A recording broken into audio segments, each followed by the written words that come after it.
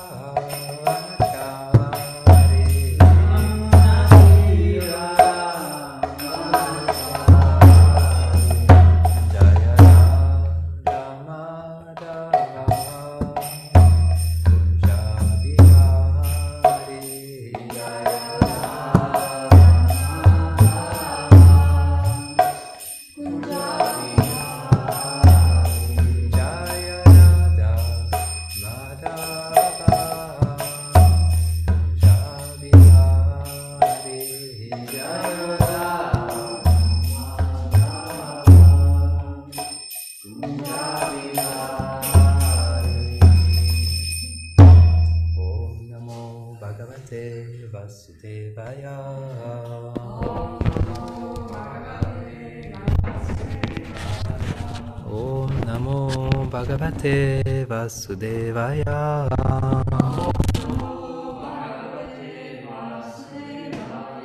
Om Namo Bhagavate Vasudevaya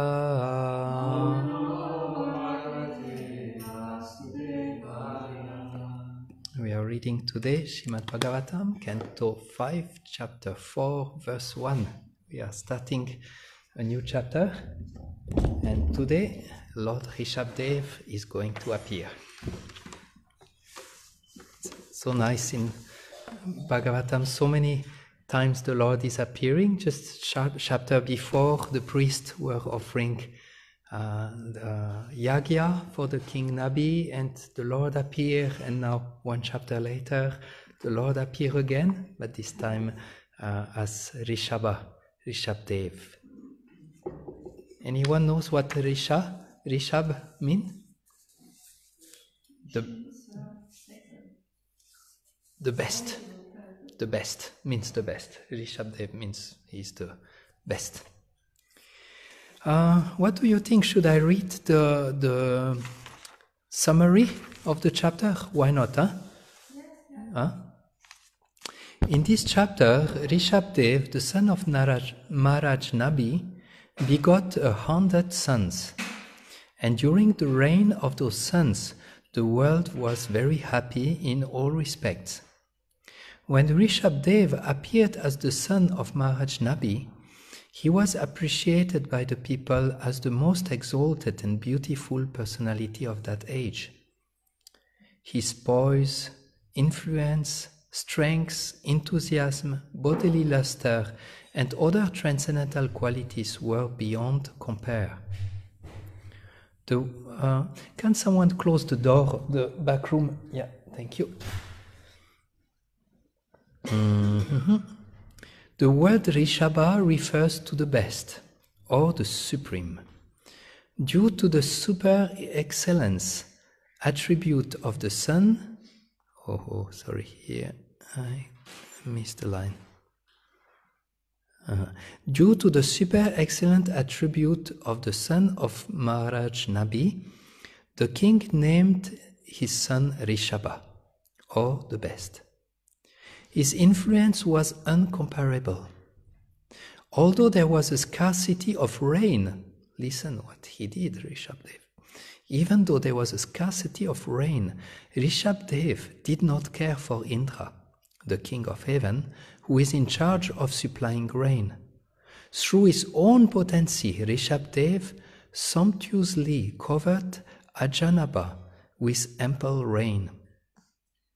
Upon receiving Rishabdev, who is the Supreme Personality of Godhead, as his son, King Nabi began to raise him very carefully.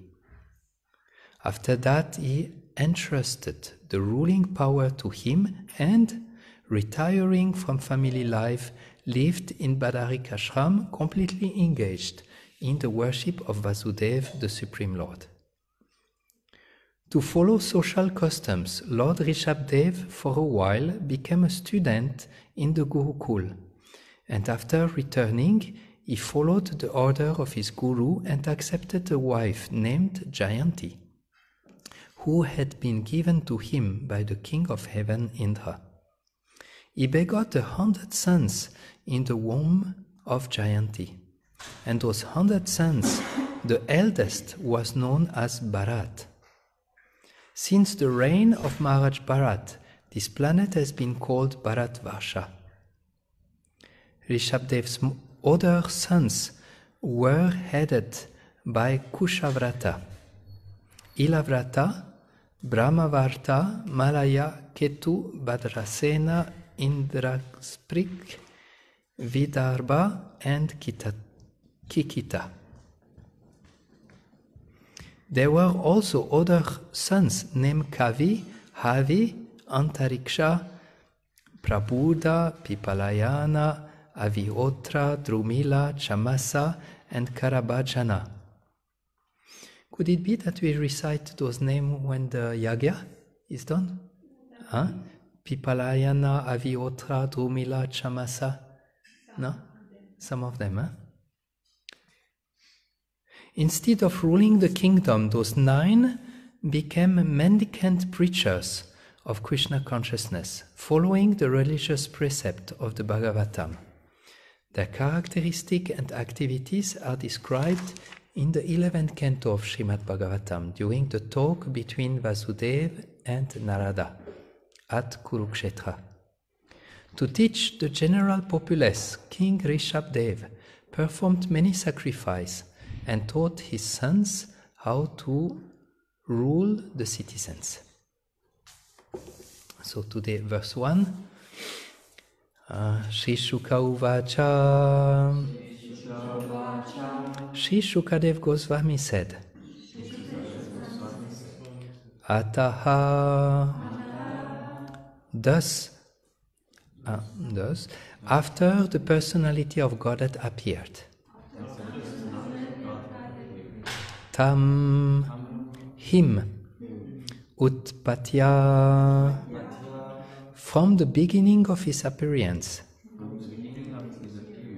Eva even abhivyamana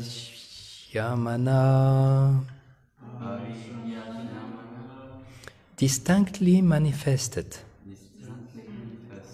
Bhagavat lakshanam. Possessing the symptoms of the Supreme Personality of Godhead. Samya, equal to everyone. Upasama, completely peaceful, in control of the senses and mind. Vairagya, renunciation. Aishvarya, opulences, Vibhutibi, with great attributes. Anudinam, day after day, Edamana, increasing, Anubhavam, his power, Prakritaya, the ministers, Prajaha, the citizens, Brahmana, the learned scholar in full knowledge of Brahman, Devataha, the demigods, Cha, and.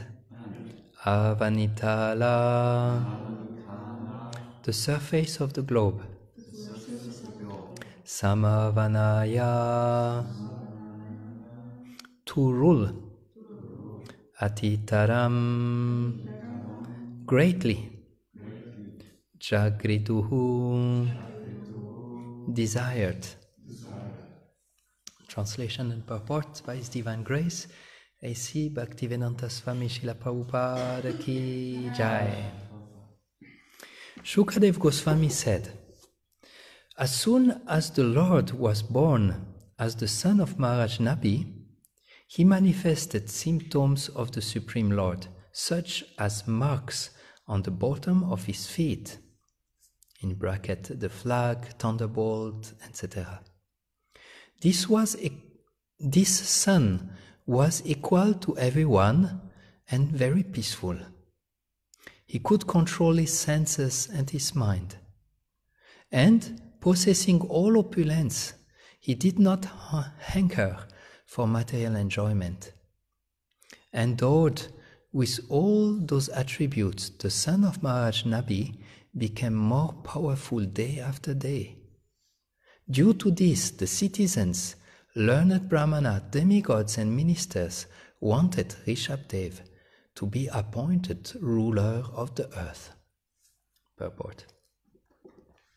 In those days of cheap incarnations, it is very interesting to note the bodily symptoms found in an incarnation. From the very beginning of his birth, it was observed that Rishabdev's feet were marked with the transcendental signs a flag, thunderbolt, lotus flower, etc. In addition to this, as the Lord began to grow, he became very prominent. He was equal to everyone. He did not favor one person and neglect another. An incarnation of God must have six opulences wealth, strength, knowledge, beauty, fame, and renunciation. It is said that although Rishabdev was endowed with all opulences, he was not at all attached to material enjoyment. He was self controlled and therefore liked by everyone. Interesting, huh? He was self controlled and therefore liked by everyone, meaning that for one who becomes self controlled, everyone will naturally love him. Due to his super excellent quality, everyone wanted him to rule the earth. An incarnation of God has to be accepted by experienced people and by the symptoms described in the Shastra. An incarnation is not accepted simply by the adulation of foolish people. So the verse again Srila Shukadev Goswami said, As soon as the Lord was born as the son of Maharaj Nabi, he manifested symptoms of the Supreme Lord, such as marks on the bottom of his feet, like the flag and the thunderbolt. This son was equal to everyone and very peaceful. He could control his senses and his mind, and possessing all opulences, he did not hanker for material enjoyment. Endowed with all those attributes, the son of Maharaj Nabi became more powerful day after day. Due to this, the citizens, learned Brahmana, demigods, and ministers wanted Rishabdev to be appointed ruler of the earth. तिमिरन्दस्याः ज्ञानञ्चनाशलाघया चक्षुरुमिलितं येन तस्मै श्रीगुरवे नमः। श्रीचैतन्यामनोभीष्टां स्थापितां येन भूतले स्वयं रूपा कदा मायां ददाति स्वापदान्तिकम्। हे कृष्णा करुणा सिन्धु दीनबन्धो जगत्पते गोपेशा गोपिका कान्ता राधाकान्ता नमोऽस्तु ते तप्तकञ्चना गौरङ्गी राधे वृन्दावनेश्वरी वृषभानुसुते देवी प्रणमामि हरिप्रिये जय सुरतोपङ्गोर्माममन्दामतेर्गति मत्सर्वस्वापदम्बुजो राधामदानमोहनो। जय मतेर्गति चैतन्या प्रभु नित्यानन्द श्री जय शिवसति चैतन्या हरे कृष्ण हरे कृष्ण कृष्ण कृष्ण हरे हरे। हरे राम हरे राम राम राम हरे हरे। नमस्ते गिरिराजाय श्रीगोवदानुनामिने अशेषक्लेशनाशया परमानन्दतायिने वांशकल्पातरुभ्यश्च कृपासिधुभ्य एव च Patitanam Pavanebhyo Vaishnavebhyo Namo Namaha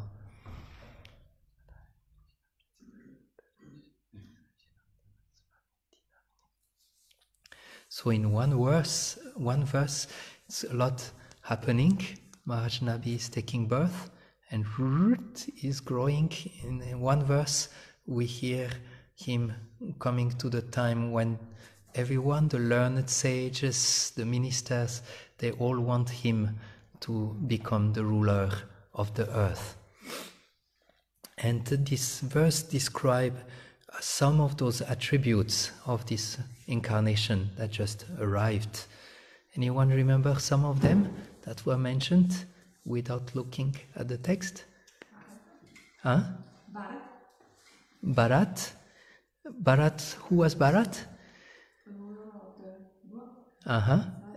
And in connection to Rishabdev, who was Bharat?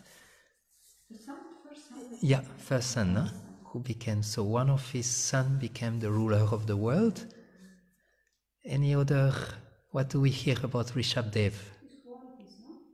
Okay.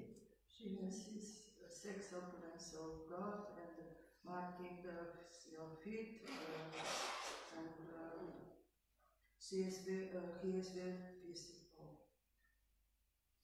uh, like like other. Okay. Do you have something? Yeah. He was liked by everyone, so much so that uh, everyone actually wanted him to be the ruler. Mm-hmm. Mm-hmm. Okay. Good.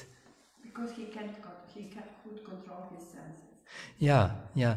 This, and he did not have any desire for sense enjoyment. And I think that's quite of a crucial point because more or less all living entities are very much looking for material pleasure, material sense enjoyment. But he was totally aloof, totally uh, withdraw from that.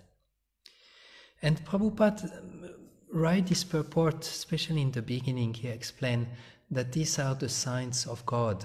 And this is a little challenge t- to nowadays many people might uh, think they are God or might proclaim that they are, they are God. So here Prabhupada say, okay, one who is God, he has those those qualities, he has those attributes, so that cannot be confused with uh, normal people claiming to be God. Uh, I remember once having received an email from a person who was writing, "You might not believe, but I am actually Kalki, the new incarnation of this age, and uh, uh, you have to follow me." And blah blah blah blah. yeah, thank you. So this is actually something very current uh, uh, in in the material world that people would like to be God or would like to be worship as God or passing by God. And here in this verse, we get all the arguments of why a normal person cannot cannot be God. So uh, it's some tools for our preaching. Uh, uh, if sometimes we preach or we meet people who claim to be God, we have some good arguments to to. We can say, "Show me your feet." and I will look if there is a flag under your feet. If there is no flag, it will not work. You are not, you are not the Lord. So that's more or less the, the, the teaching we get from the purport. And I was wondering how can this verse be relevant for us? Or what, what do we take we, we, with us from such a verse for the audience that we have here? And I think it's very beautiful to go deeper into this understanding of who is God, who is our Krishna, and this make our our sambandha, our relationship with Krishna in a deeper way.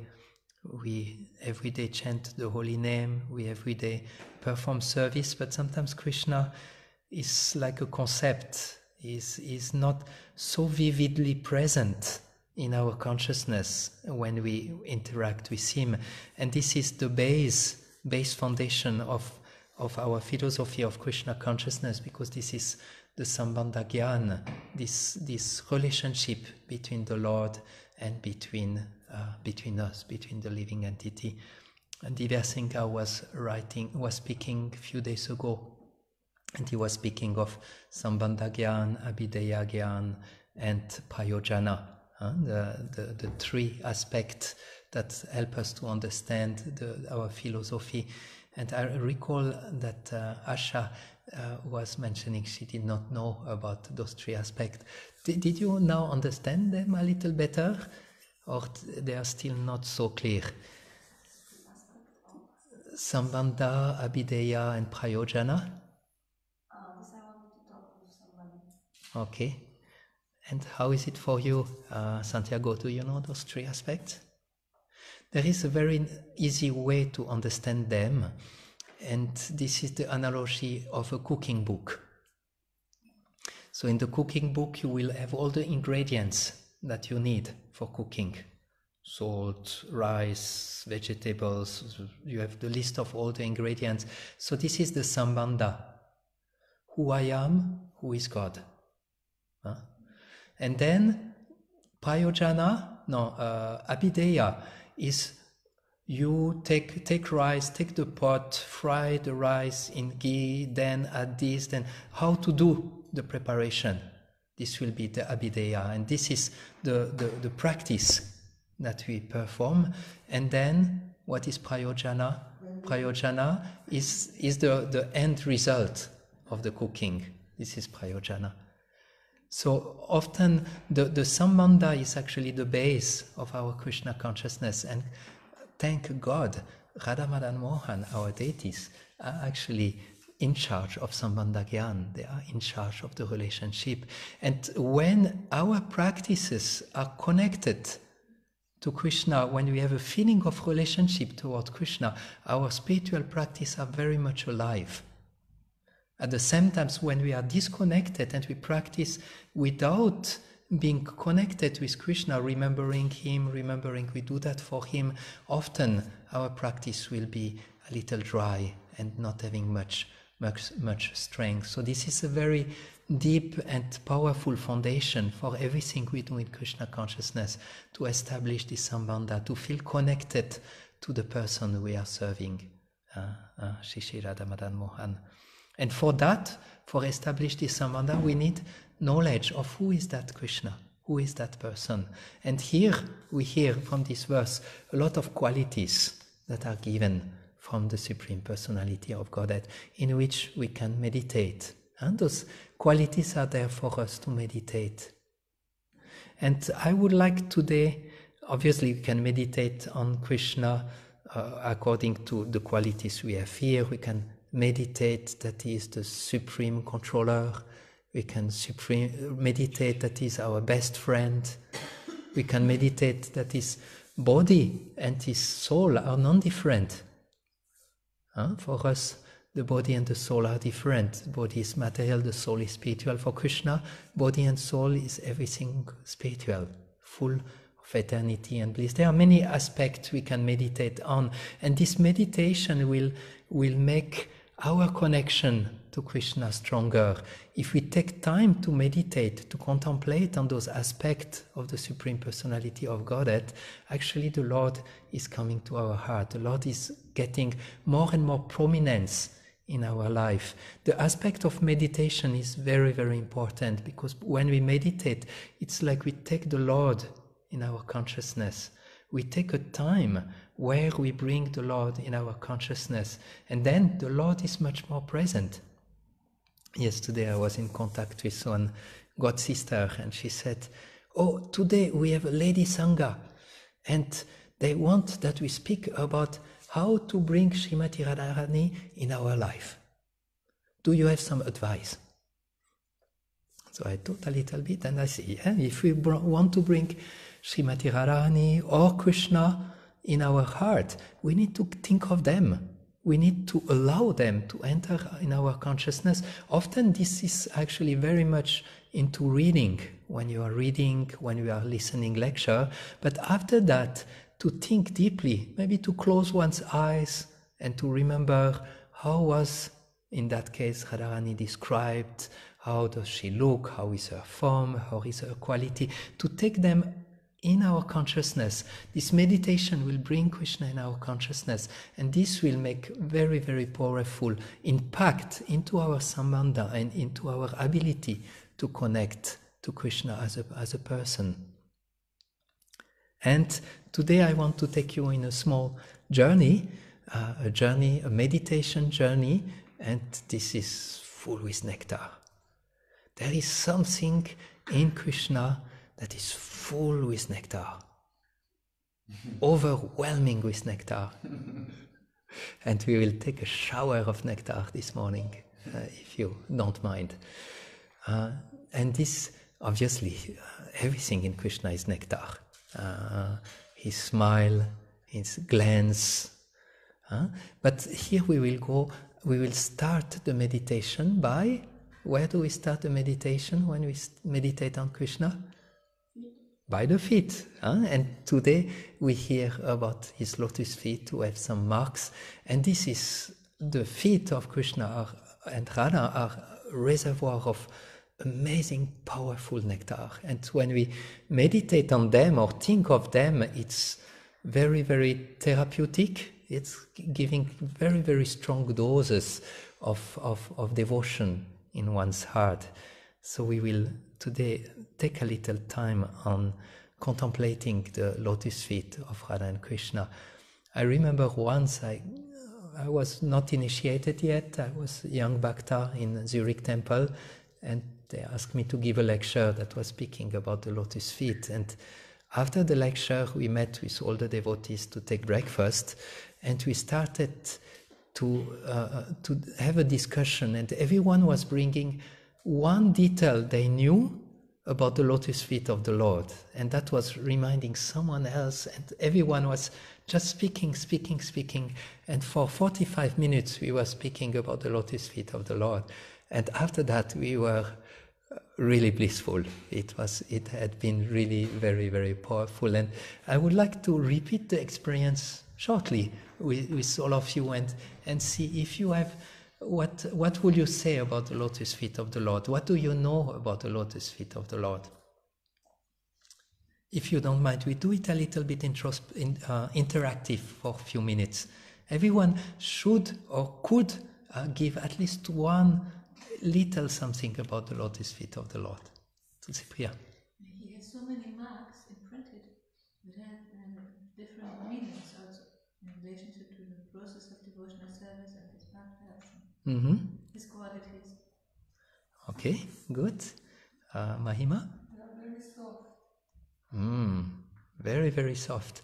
I heard uh, actually in, in Zurich when we, we were speaking, one devotee said that Krishna's feet, they never become, uh, never get hard skin like our, our feet. Always, always, always very soft. Thank you. Mani Manjari? His are like a mood, and they are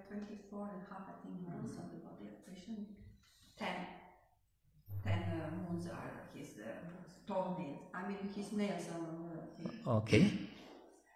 Okay. Thank. Shiny. Mm-hmm. Uh, uh, Yvonne? Um, when he walks through the forest in the darkness, Lotus Sweet makes mm, are making marks on the ground. Mm. Nobody in the darkness stepping on these marks. Mm-hmm. They all respect very much those marks. No one, even the animals, even the wind is not blowing on those marks. Yeah, very good. I saw Santiago. Yes, uh, he has a reddish color in feet, and, and uh, so las palmas. and also the thoughts are equal.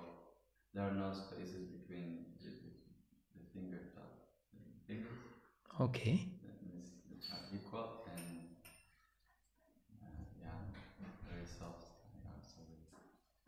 Good. Thank you. Anyone else? Vajanti? They are never still. He is always dancing or moving around. Okay. Matma. We have one uh, from Kaliya lila, when Krishna was fighting with Kaliya, and all the um, inhabitants of Vrindavan were scared. They heard the noises and they said, "We have to go there. We have to find him." And they were finding by following his first footsteps in the sand. Mm. And then it's explained how is that possible? Because Krishna, it was a long time ago when he passed through, and many animals, many different things happen, and they go through the same road. So how the steps were full, fully impressed? Mm-hmm. It's explained because every animal in Vrindavan knows that Krishna is God, and out of respect, nobody went across his feet. hmm Thank you. I, I, I was once in, uh, in Vrindavan. There is a temple from the Nimbarka Sampradaya. Nimbarka Sampradaya, they are very much respecting and honoring Braj. They keep sand everywhere, they keep big trees, and, and there is a place, the, the temple room that they have is always sand. It's actually outside temple room. It's a temple courtyard, like, and it's full with sand. And before the darshan, they they they pull a, a piece of wood that make the sand totally even everywhere. And when you you go there, you walk on the, this is it's just magical. And uh, like when the guru is leaving the temple and going back to his room, they also clean up the place so that he will walk on the on the clean sand. And before he's passing, there are some some of them they are around and they don't let you cross the place so that it will be. Thank you. Uh, Tulsi Manjari.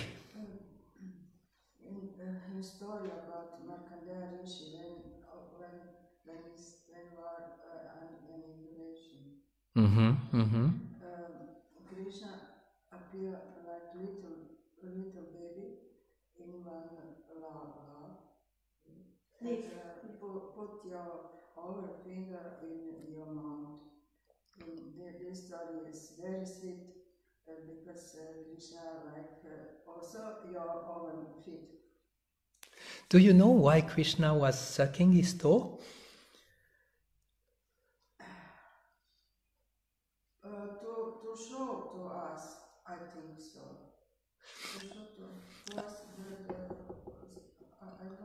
I heard, I heard from uh, Bhakti Chaitanya Swami.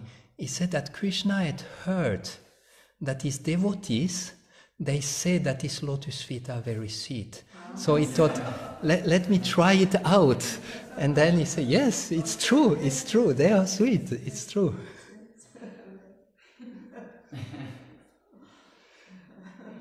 so, uh, Anastasia and Asha, do you have anything you know about the Lord's lotus feet? It's not easy because you are the last one, so everyone has said already something.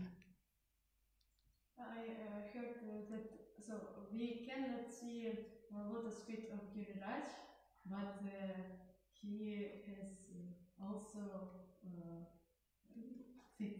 Okay, okay, very good. And obviously, we have here two posters with the marks that are under the feet. And thank to uh, Tatiana Mataji, who was doing all those drawing in our temple room, who have all the, the signs, or most of the signs are there. And actually, devotees will learn the meaning of those signs, and they will learn the place that's under the middle finger. Uh, they will learn which place exa- exactly this sign is. They will meditate like this. They will go from one sign to the other and remember the, the, the meaning. And it's extremely powerful. There are many, if, we, if you put lotus feet into the folio, into the Bhaktivedanta Ved- Veda base, you will find so many quotes, so many quotes. The Shastras are full with quotes regarding the lotus feet of the Lord as a place of shelter, as a place where one will, be, will feel remove of all anxieties, remove of all troubles in life. Yeah, M- Marcus, I forgot you. Sorry, please. Yeah, devotees want to become a piece of dust on the lotus feet of Krishna. Very good. Hmm, very good. Especially in Shikshashtakam, huh? Eh, Chaitanya Mahaprabhu said, please consider me a particle of dust at your lotus feet. Yeah, very good. So, anyone would like to hear one is interested about one, we will just read one, one meaning of those signs. Who is interested to hear one of the meaning? Okay, to Cypria, you are the fastest. Which meaning would you like to hear? The moon. Okay. Anyone knows? Please tell us.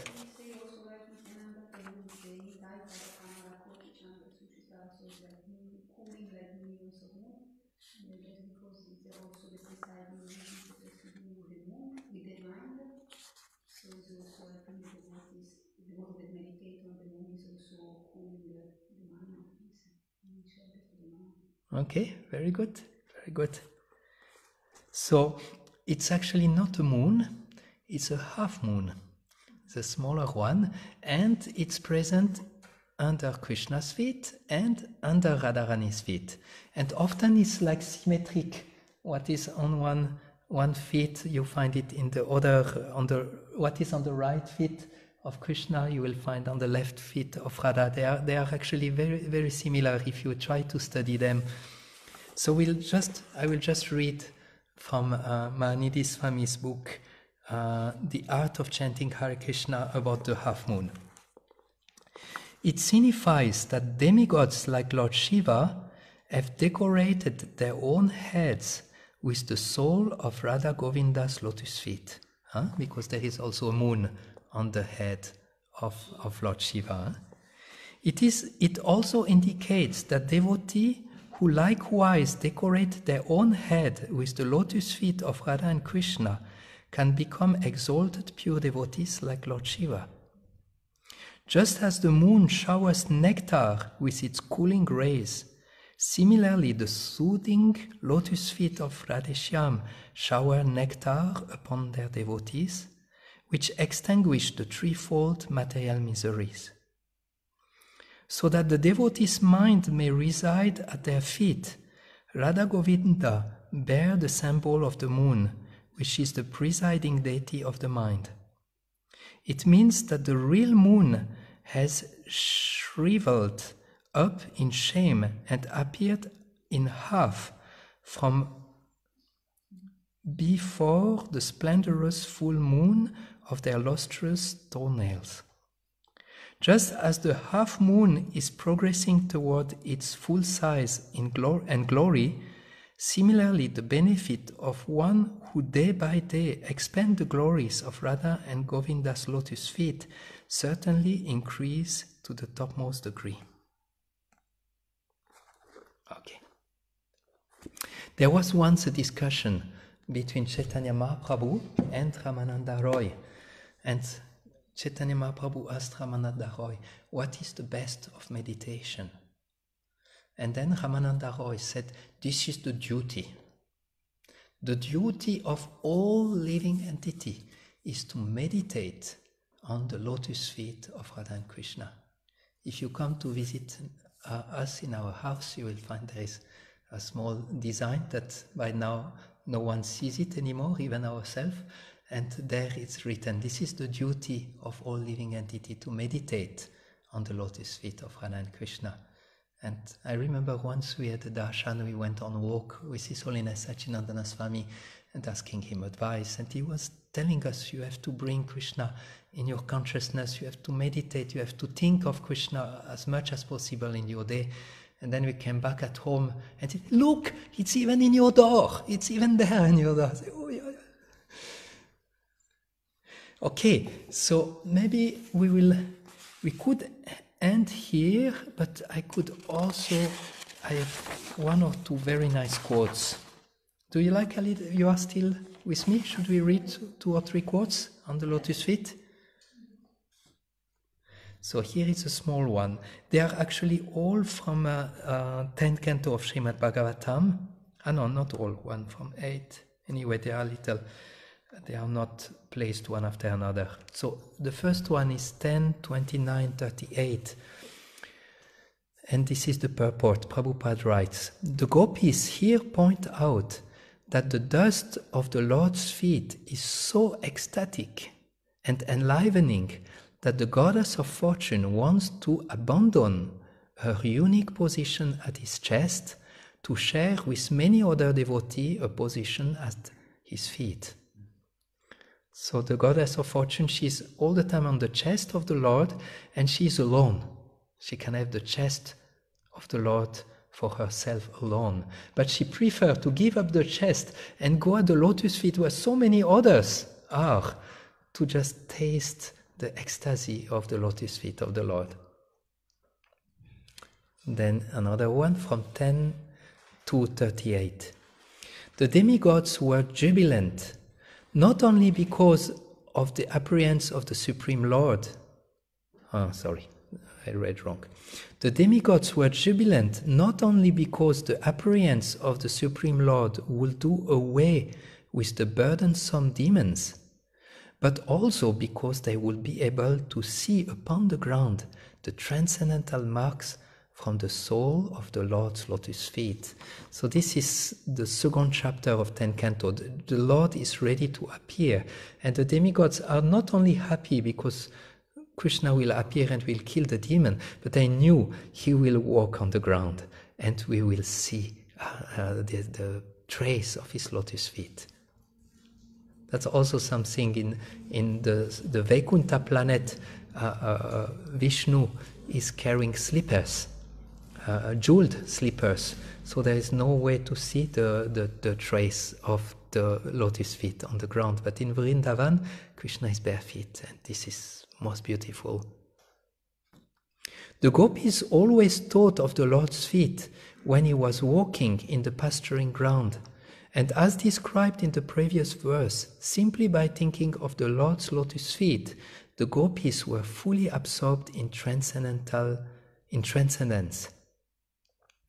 Like the gopis, one who is always absorbed in thought of the Lord is beyond the material platform and will not remain in this material world.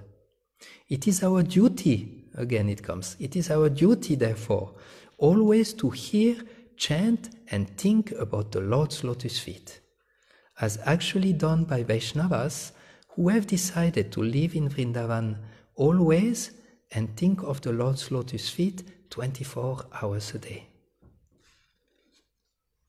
And then the last one, this is 8.3.16. For a devotee who has taken the lotus feet of the Lord within his heart, the Lord gives spiritual enlightenment, known as Jnana Dipa, by special mercy from within. This Jnana Dipa is compared to the fire hidden within Arani wood. To perform fire sacrifice, great sages previously did not ignite a fire directly. The fire would be invoked from Arani wood. Similarly, all living entities are covered by the modes of material nature, and the fire of knowledge can be ignited, ignited only by the Supreme Personality of Godhead when one takes Him within his heart. Savaimana Krishna Padaravindayo. If one takes seriously the lotus feet of Krishna, who is seated within one's heart, the Lord eradicates all ignorance. By the torch of knowledge, one immediately understands everything properly by the special mercy of the Supreme Lord and becomes self realized. In other words, although a devotee may externally not be well, very well educated because of his devotional service to the Supreme Personality of Godhead, it oh, oh, again I read wrong. Sorry. Because of his devotional service, the Supreme Personality of Godhead gives him enlightenment from within. If the Lord gives enlightenment from within, how can one be igni- in ignorance? So this is uh, uh, again the, the, the point of taking Krishna and Radharani in our consciousness, Krishna consciousness in by, by meditation, by reading, by contemplating, by speaking. And then what happened when Krishna is in our heart, or the lotus feet are in our heart? I like how he called Jnana Dipa. We, we- the devotee receive enlightenment. It's enlightenment from within, and is shining and taking away all ignorance. So Lord Rishabdev has appeared today. Haribol! And uh, we hear about his wonderful qualities. We hear about the signs uh, that he had under his feet, showing very clearly he's the Supreme Personality of Godhead. We hear how he was not attracted at all from material enjoyment. We hear how he was self controlled, mind controlled, that everyone wanted, wanted to him to become the, the king, the ruler of the world. What else? Did I forget something? Okay. And the, the, I tried to make this point in the lecture that we should meditate, we should think of the Lord as much as possible to establish this sambandha so that, that our service, our spiritual practice are powerfully connected to the person to whom we are offering this service and our, our sadhana so that it, it brings much more potency into, into our, our practice and day-to-day uh, activities. So I don't know if you have any questions, any comments. Yeah, Ivan. I have a question. For a long time I was wondering why it is so powerful to meditate on the lotus feet. Maybe instead of meditating on Krishna's heart, for example, because there's the exchange of love, maybe one can. Mm. And is it because we want to be in the mood of service and want to surrender and you normally bow down to someone and then you have the lotus feet in front of you? Is it this is the? Yeah, it is definitely a, a, a, a humility way of approaching the Lord instead of going directly to the smile. We start with the, the, the feet, and the feet, when we approach someone's feet, then it immediately invoke this mood of humility, this mood of service and humility, and this is the way we are we are uh, advised to approach the Supreme Personality of Godhead in a mood of humility, in a mood of service. So this is very much connected to that. At the same time, it's not that we meditate only. I mean, the general way you start by the feet, and then you go up to the head, and then when you're up to the head, go down back to the feet, and then from the feet back to the head, and and, and then you can stop as long as you want in some other part of Krishna's body. But the starting is starting with the lotus feet to make sure to be to be properly in the mood of service and the mood of humility. Yeah, yeah, this is a good understanding. I don't know if someone has something else to add on the question.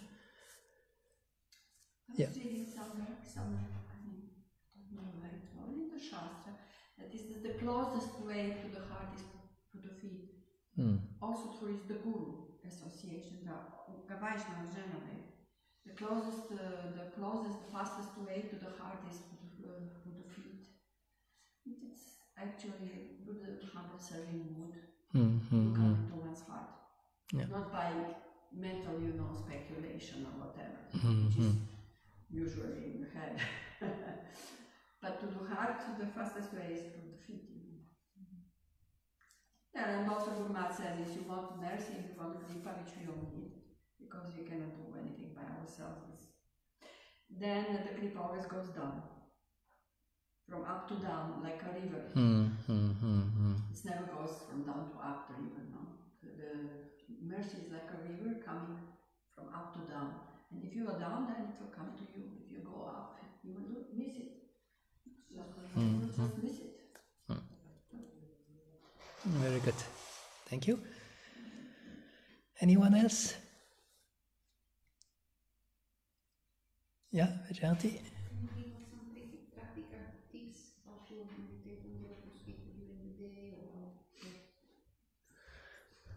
Mm. Yeah, I would suggest every day learn one sign. That's quite easy, huh? It takes maybe five or ten minutes to learn one sign, and every day learn one, one, one, one different sign, and then, aha, then come the best. Share uh, the, those meaning to the other devotees, and keep on, keep, let let the the nectar uh, continue to flow. It's okay? Good. Then we stop here. Thank you for your attention. Srila Prabhupada ki jai.